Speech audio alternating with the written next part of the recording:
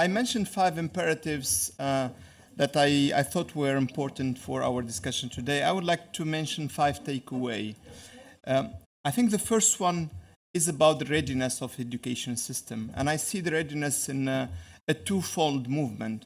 One is how education system will be able to respond to how AI will be uh, penetrating the labor market, economy, societies.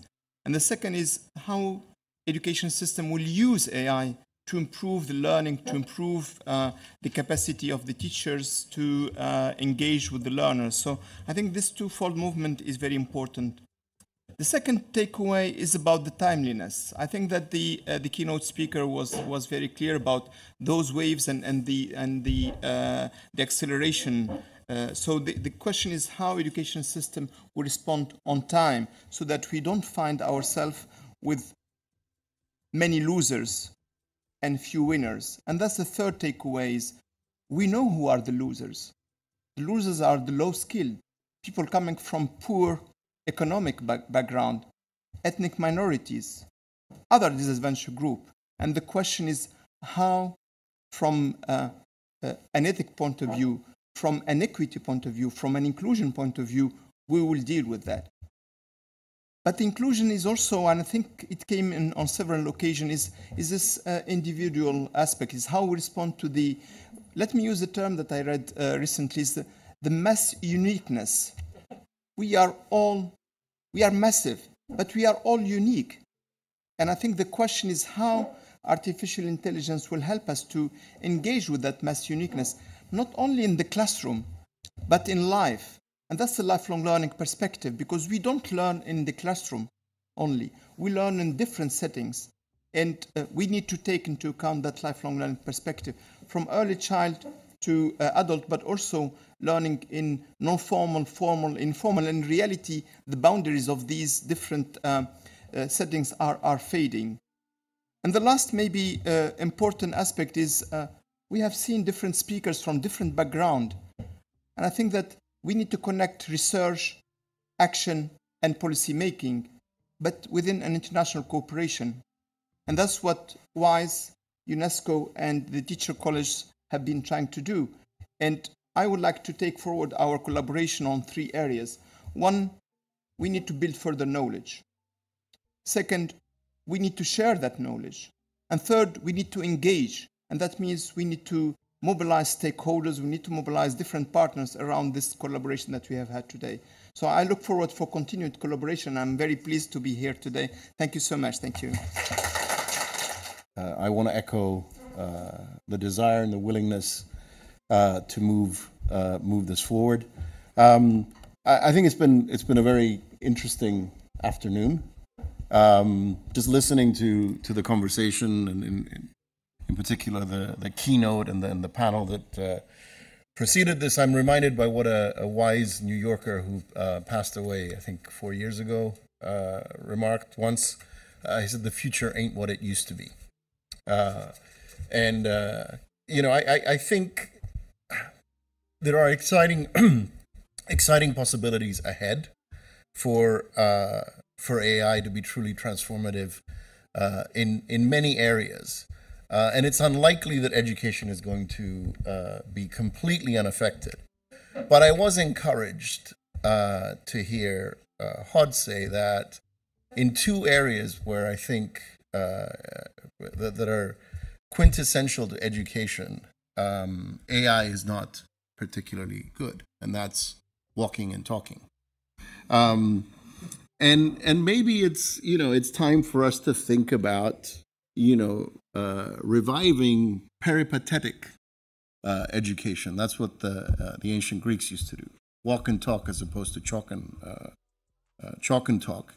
Um, and and I think you know, I think one of the questions we we have to ask ourselves is, regardless of where AI goes, um, what is it that we want it to do in in the education space?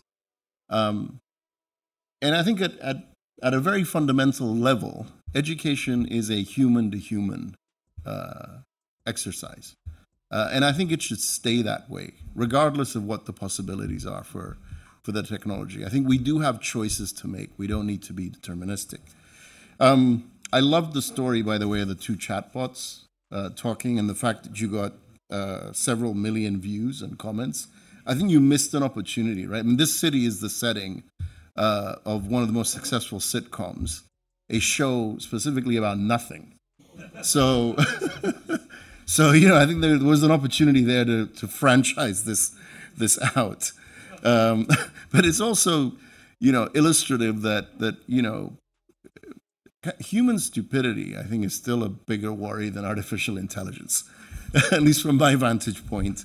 That we still there are things that we need to you know fix about ourselves uh, before we we worry too much about where AI uh, is taking us. Now, having said that, I think you know the the conversations today acknowledge that there are many design questions that um, we need to think about that touch on ethics, but also on safety. I, I loved the, uh, the, the anecdote about the the, the pilot, uh, you know, designing the, the cockpit. Um, you know that even with the best intentions, we are going to get things wrong. So it's important that we we keep the conversation going. Um, we need more interdisciplinary research. I agree. We need more testing. We need more piloting, uh, and we just have to keep uh, keep talking and sharing ideas and solutions. Uh, and with that, it is it is the hope that this is not a one-off, uh, this event, and that we are uh, going to continue this collaboration in uh, in the months and years to come. Watch this space for for more details in the future. But thank you on behalf of WISE and Qatar Foundation to UNESCO and in particular to the Teachers College and Columbia University. Thank you.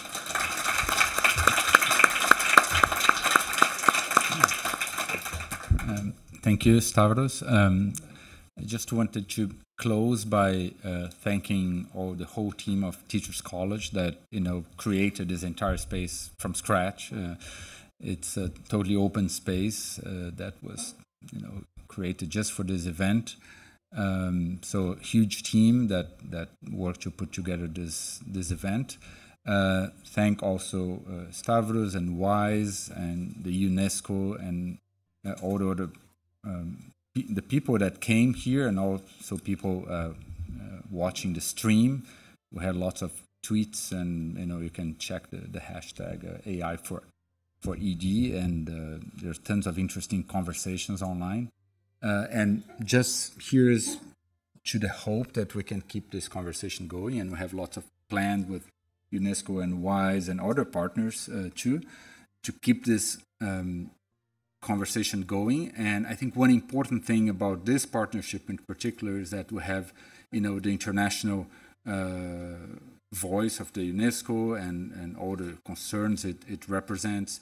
We have also an international foundation that does work in many countries uh, we have you know technologies like Hod that we hope to you know help us in this uh, in this endeavor, and we have Teachers College, which is a you know a symbol in education in this country and, and in the world, and everyone is at the table with the same uh, weight, and I think that's really important that we uh, bring those kinds of hard debates in education to a table where everybody has the same voice and where people are working collaboratively to create you know the best possible solutions for our children. So thank you very much and uh, hopefully we'll see you soon